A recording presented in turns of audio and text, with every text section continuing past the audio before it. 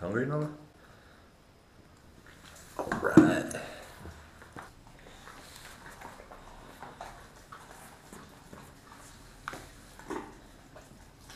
There's a couple pieces of beef tail in there, but the uh, they were cut way too small. It's better to get the whole beef tail.